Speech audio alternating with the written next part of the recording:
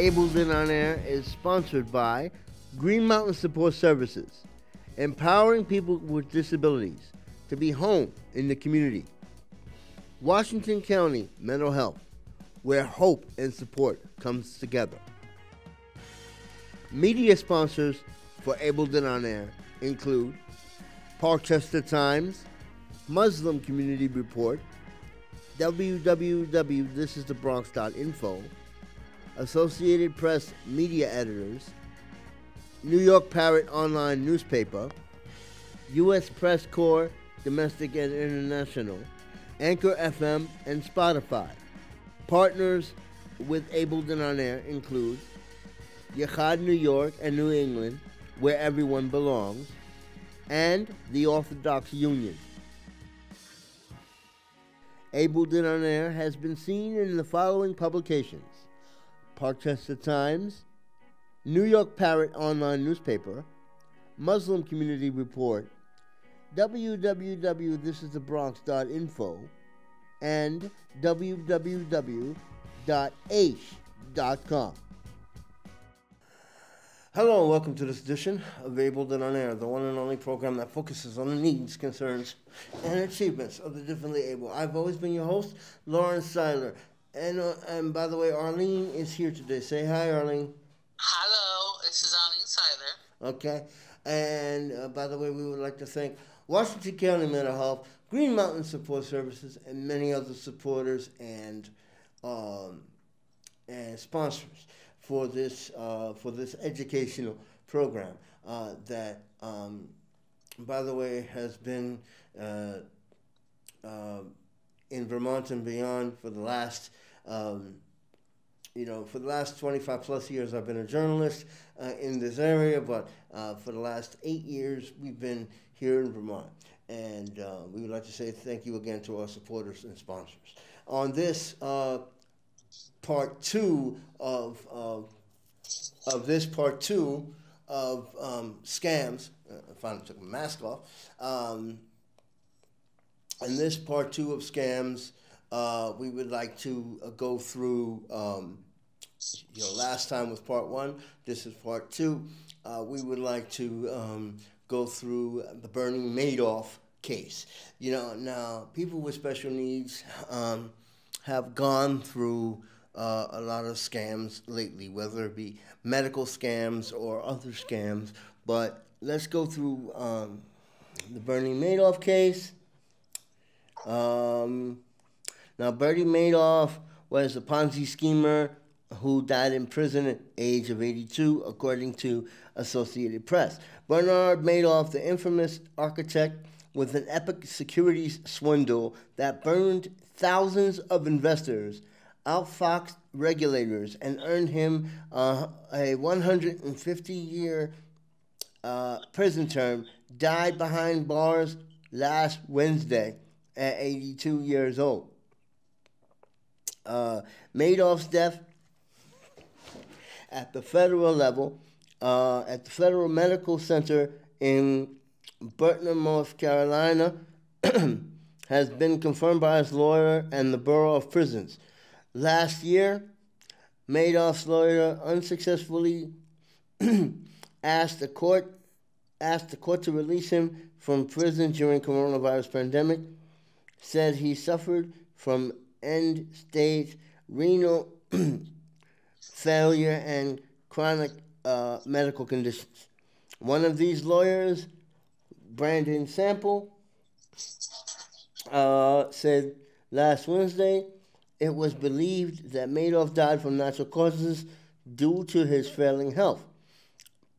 An article from the Associated Press goes on to say for a decade, Madoff enjoyed an image of self made uh, financial guru, whose Midas touch defied uh, defied market uh, uh market uh, flux, uh, fluctuations.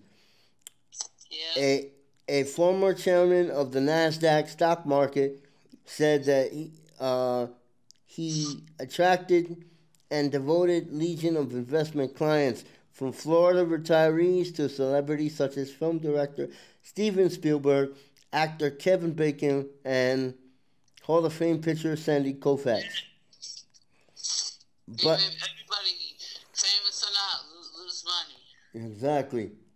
Um, but his investment, but his investment advisory business was exposed in twenty in 2008 as a Ponzi scheme that wiped out people's fortunes and ruined charities. He became so hated that he was bulletproof.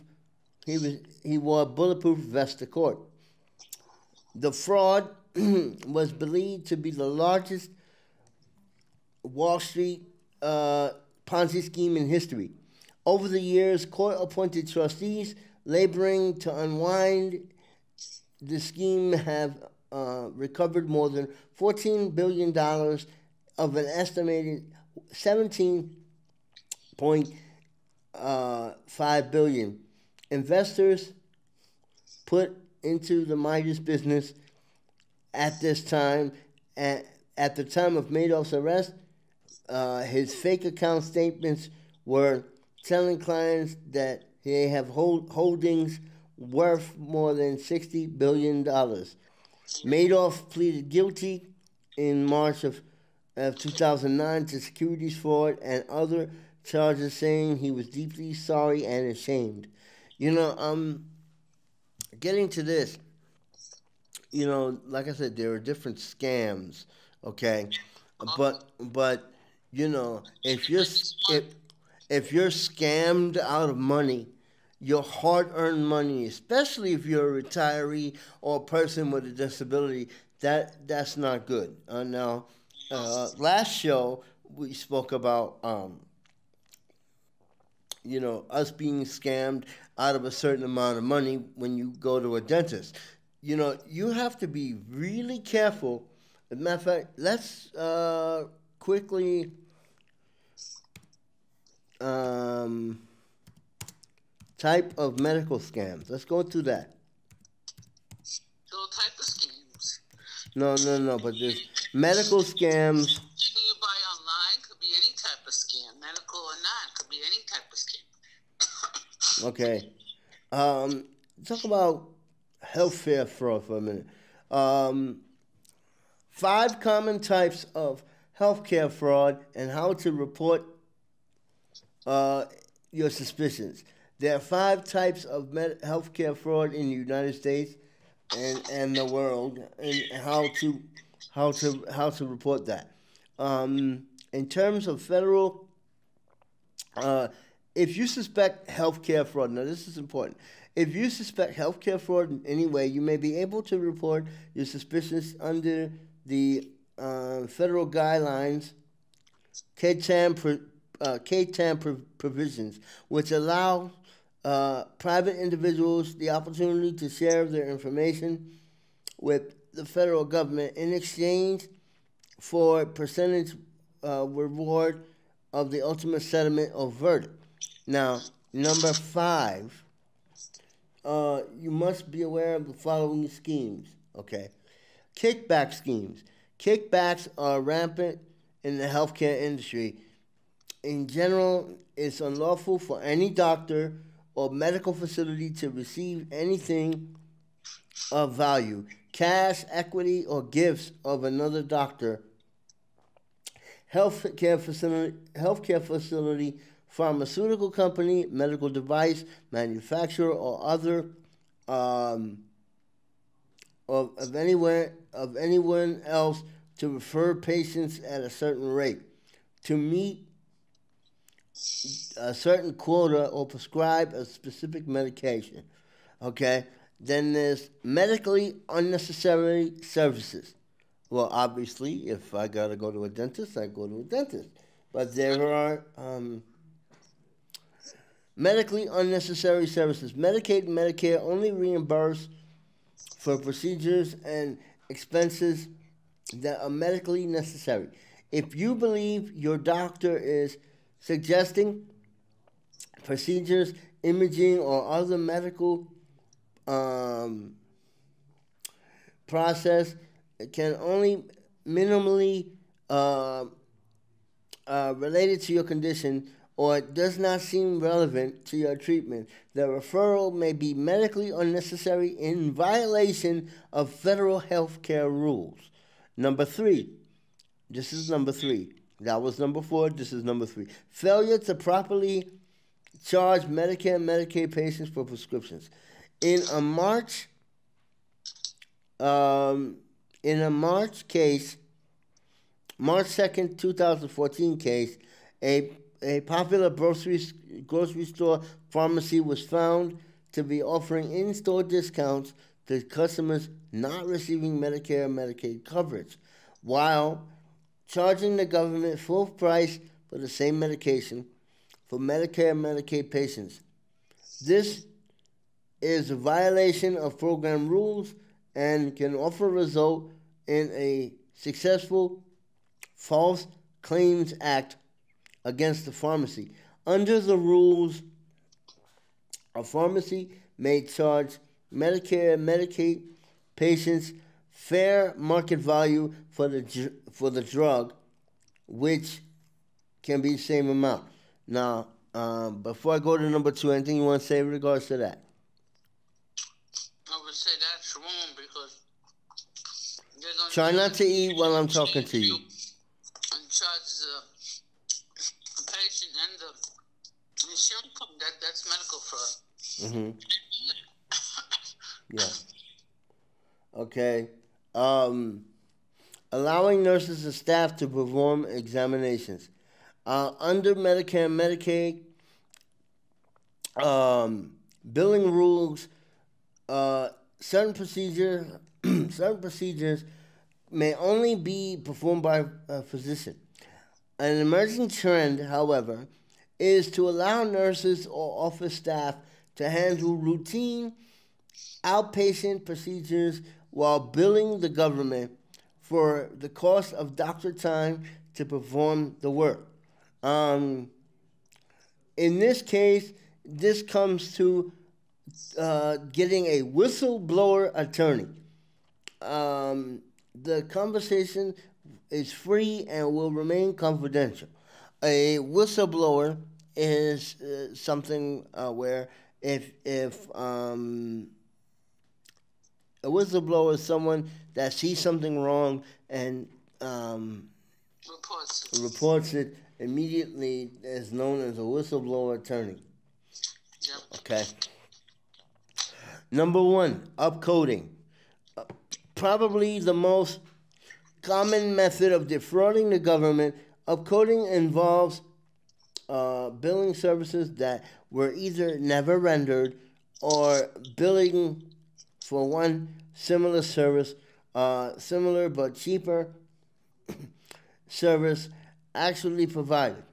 Uh, similar practice describes number two above um, in this website. Uh, illegally upcoding uh, costs of federal government millions of dollars per case can be detected through um, the review of a bill. For more information on this um, information, you can go to www.bergermontague.com uh, and uh, dash Q, uh, qui tam healthcare fraud. Um, healthcare fraud is millions and millions of dollars in this country um, that should never happen. Um, there are several services here in the state of Vermont that people can avail themselves to. Um, one of them is the Attorney General's office. Uh, let me see. Attorney General. Mm-hmm. Uh, state of Vermont.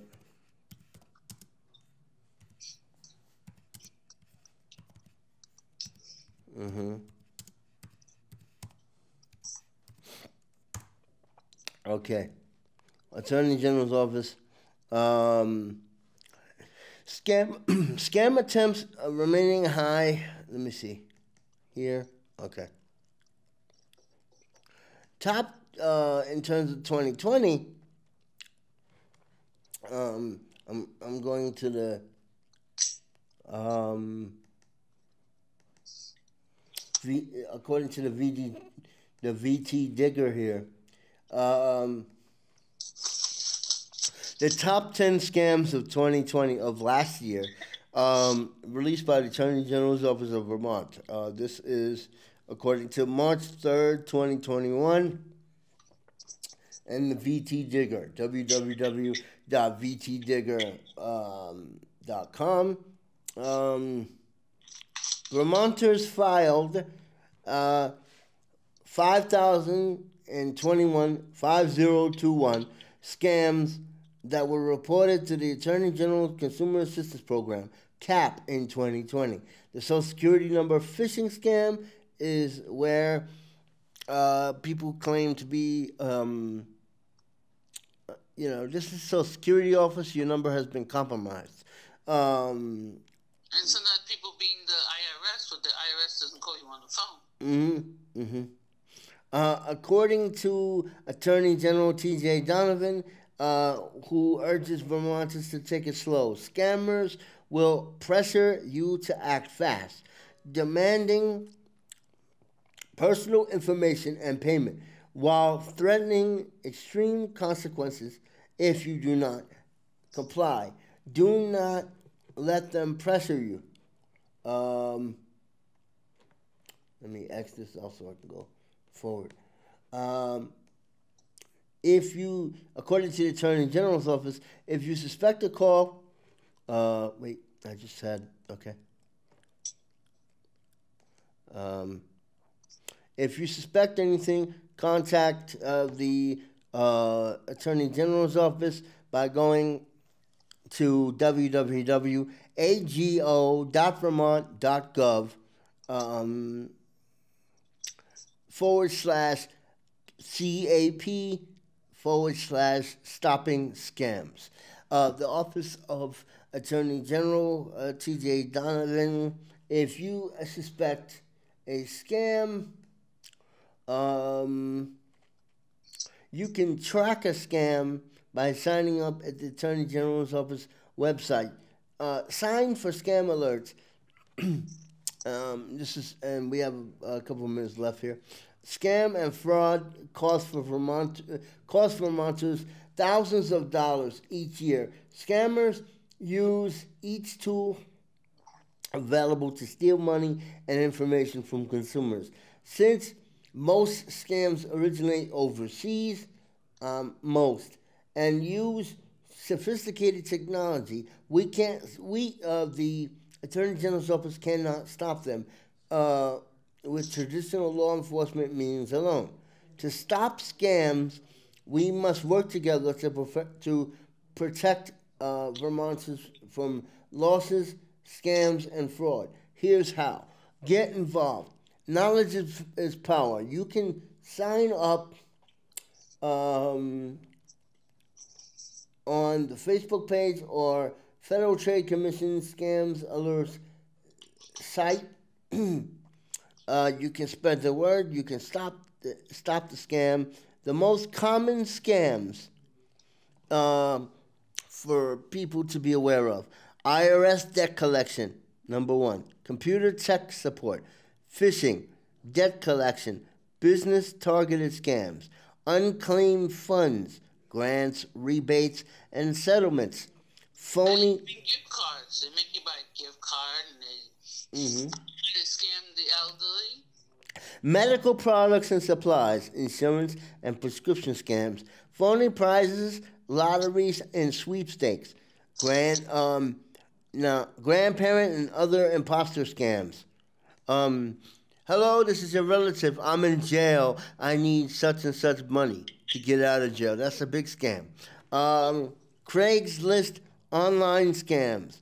But the medical scams is a huge huge one. So let's click that. Callers claim to be Medicare and Medicaid seeking personal information or claiming the authorized provider and medical supplies, prescriptions, or other services. Please, according to the Attorney General's office, please verify with your insurance provider separately or your physician. Never, never give out your social security number or information to a caller. Okay? And the phishing scam is more important too. Attempts to collect personal and sensitive information, which typically is used to steal someone's identity. In most common phishing scams, the the perpetrator claimed is claimed to call from a person's bank and requires personal information to reactivate their account. their account. Never give personal information, so security number, um, uh, house number, cell phone number, uh, um, family number, spouse's number, any information like that. Um, now, now, yeah. personal information. Hmm? I don't answer the phone. Yeah. Um, calls. Uh, now talk about um, the gift card scams.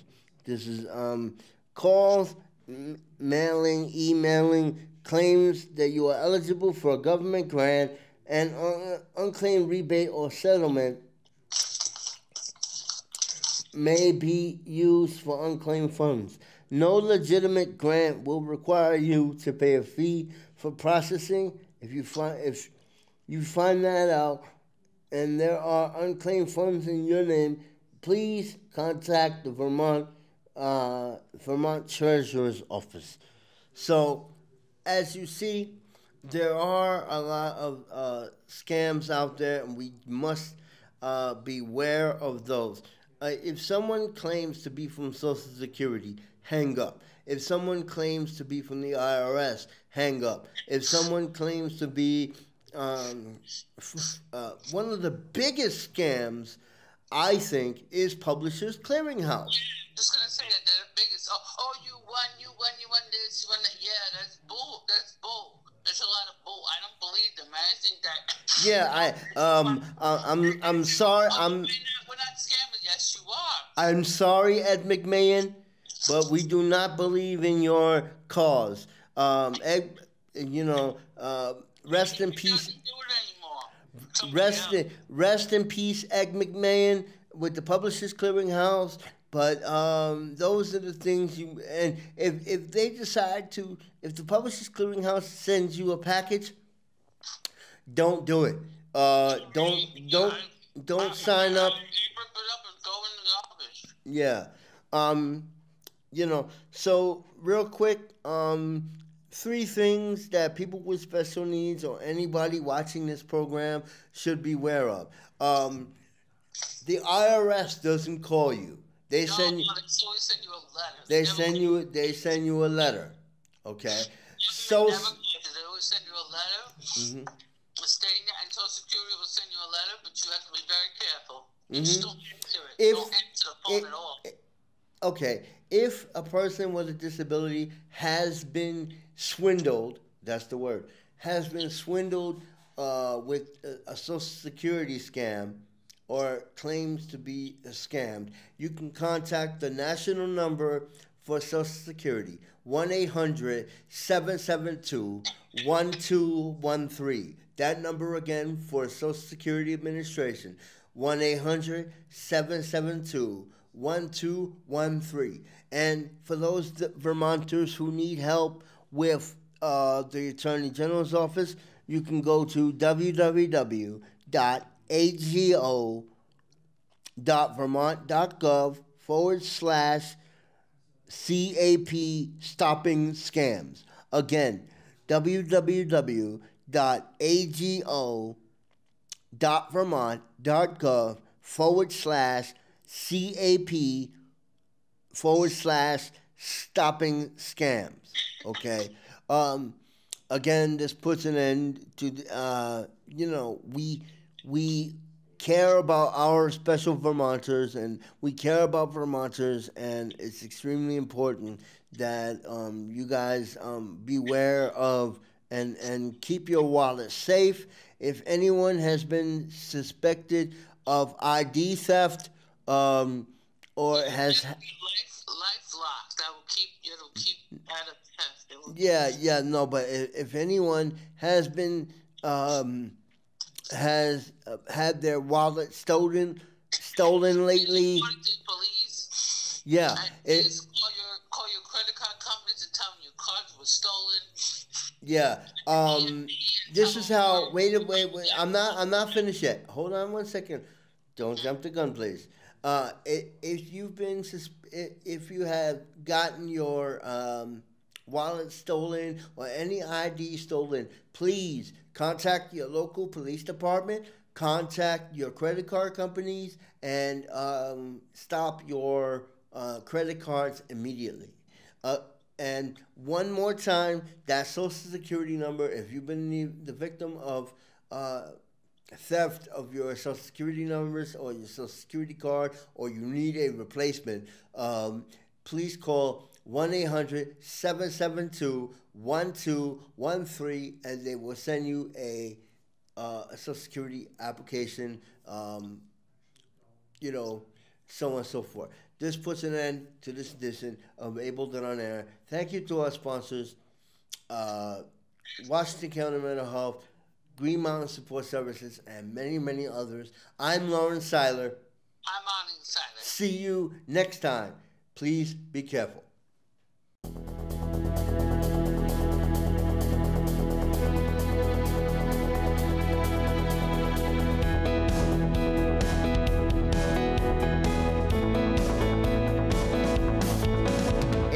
On Air is sponsored by Green Mountain Support Services, empowering people with disabilities to be home in the community. Washington County Mental Health, where hope and support comes together. Media sponsors for Abled and on Air include Parkchester Times, Muslim Community Report, www.thisisthebronx.info, Associated Press media editors, New York Parrot online newspaper, U.S. Press Corps domestic and international, Anchor FM, and Spotify. Partners with Abled and on Air include Yachad New York and New England, where everyone belongs, and the Orthodox Union. Abled and on Air has been seen in the following publications Parkchester Times, New York Parrot online newspaper, Muslim Community Report, www.thisisthebronx.info, and www.aish.com.